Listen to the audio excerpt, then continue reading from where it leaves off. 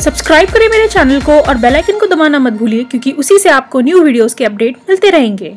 Hello friends and आज मैं करने वाली हूँ अपने बालों पे हेयर ट्रिमिंग और क्योंकि मेरे बाल बहुत बड़े हो गए हैं हेयर ट्रिमिंग के लिए मैंने अभी अभी बाल धोए हैं और थोड़े से वो ड्राई हो गए हैं। और सूखने के बाद और फ्रेश हेयर पे जब आप ट्रिम करते हैं फ्रेश धुले हुए बालों पे तो ट्रिम और अच्छे से होते हैं। मैं अभी ट्रिम करने वाली हूँ तो मैंने दो पार्ट्स में अपने बालों को डिवाइड किया है। आप दो पार्ट्स में डिवाइड कर लीजिए अपने बालों को। और उसके बाद फिर आप एकदम सीधे नीचे के बाल जितने भी हैं उनको ट्रिम कर सकते हैं। हेयर ट्रिमिंग इसलिए ज़रूरी होता है क्योंकि कभी कभी आपके बाल नीचे से स्प्लिटेंट्स हो जाते हैं या फिर बाल रफ होने लगते हैं तो आप हेयर ट्रिमिंग कर सकते हैं। सिर्फ़ आपको थोड़े थोड़े बाल अपने काटने हैं और बहुत ही डिफरेंस आ जाता है पहले पहले के बालों में और बाद के बालों में। और ये आपको सिर्फ़ महसूस होगा, आप फील कर सकेंगे। तो मैंने एक नीचे से काट लिया और मैं ट्रिमर यहाँ यूज़ कर रही हूँ, क्योंकि सीज़र से मेरे बालों को काटने में थोड़ी प्रॉब्लम होती है, मेरे बाल थोड़े मोटे हैं। और इसलिए मैं यहाँ पे ट्रिमर यूज़ कर रही हूँ। मैं आप सीज़र से भी कैसे काटना है, वो भी मैं आपको दिखाऊँगी।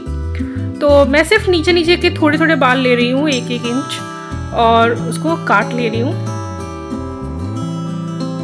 तो इससे क्या होता है, आपकी स्प्लिटेंट्स सारे हट जाते हैं और हेयर की क्वालिटी है वो बेटर होती है। तो मैंने नीचे की एक एक लेयर एकदम सीधे सीधे काट दिया है। और उसके बाद अगर आप चाहते हैं और काटना है बाल, आप और बाल ले सकते हैं। तो उसके लिए मैं क्या कर रही हूँ? मैं पीछे कान के ऊपर के सारे बाल ले रही हूँ। और क्योंकि नीचे के मेरे बाल तो कटी गए हैं, लेकिन जो थोड़े ऊपर की लेयर रह जाती है, वो बालों को, वो उसमें स्प्लिटेंट्स रह जाते हैं तो वो मैं बाल ले रही हूँ। आप पहले सबसे कोम कर लीजिए कि कोई भी टैंगल्स ना हो, अच्छे से कोम करके, फिर उसके बाद आप एक रबर बैंड लगा लीजिए। तो आपको दिख रहे होंगे नीचे नीचे कुछ बाल जो हैं, एकदम एक्स्ट्रा निकल रहे हैं।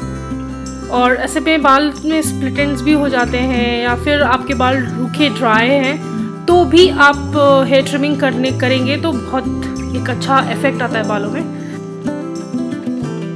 यहाँ पे भी अराउंड वन इंच हेयर को काट दे रही हूँ। और हेयर ट्रिमिंग आप कभी भी तीन से चार महीने में एक बार कर सकते हैं। तो इससे क्या होता है, बालों की क्वालिटी इम्प्रूव होती है और आपकी हेयर ग्रोथ भी अच्छे से मतलब क्वालिटी बढ़ती है बालों की। हेयर ग्रोथ भी होता है। तो और मैं करती रहती हूँ, तीन से चार महीने में एक बार ट्रिमिंग करती रहती हूँ। और हेयर हेयर ट्रिमर या सीज़र से जैसे भी आप काटना चाहें, काट सकते हैं। मेरे यहाँ पे बाल ड्राई हैं, सूखे हैं तो सूखे बालों पे भी आप काट सकते हैं। अगर आप चाहते हैं कि बाल गीले करके काटना है तो आप बालों को गीला करके भी काट सकते हैं। तो जैसी आपकी मर्ज़ी, उस तरह से आप काट सकते हैं। तो जब भी मैं हेयर ट्रिमिंग करती हूँ, उसके बाद बाल मुझे बहुत ही और हेल्दी और स्मूथ दिखाई देते हैं। जब भी मुझे लगता है मेरे बाल रफ़ हो रहे हैं फ्रिजी हो रहे हैं या स्प्रिटेंड्स हो रहे हैं तो मैं अपने बालों को ट्रिम कर लेती हूँ। तो अभी मैं करने वाली हूँ सीज़र से। तो सीज़र से भी सेम वही करना है, आपको बालों को दो पार्ट्स में डिवाइड करना है और फिर सीज़र से आप धीरे धीरे छोटे छोटे लेयर को ट्रिम कर लीजिए। थोड़े थोड़े बाल नीचे से ट्रिम करना है। बालों को दो तीन बार लेवल करके आप थोड़े थोड़े ट्रिम करते रहिए।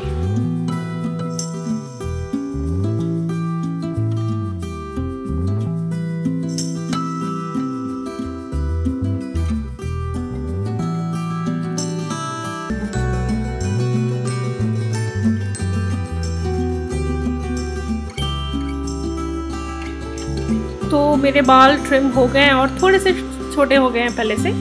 बट कोई फ़र्क नहीं पड़ता, वो जब जितना आप बाल ट्रिम करेंगे, उतनी ग्रोथ अच्छी होती है बालों की। तो दो तीन महीने में बढ़ जाते हैं बाल। ये है मेरे, इस तरह की, ये मेरे नेचुरल हेयर्स हैं और मेरे थोड़े से वेवी हेयर्स हैं। कुछ लोग बोलते हैं कि आपके स्ट्रेट हेयर है, मेरे बाल स्ट्रेट नहीं है। मेरे बाल वेवी हैं, वो तो मैं हेयर आयरन या हेयर स्ट्रेटनर करने के बाद मेरे बाल स्ट्रेट दिखने लगते हैं। होप आपको ये वीडियो पसंद आया हो। Thanks for watching and see in my next video bye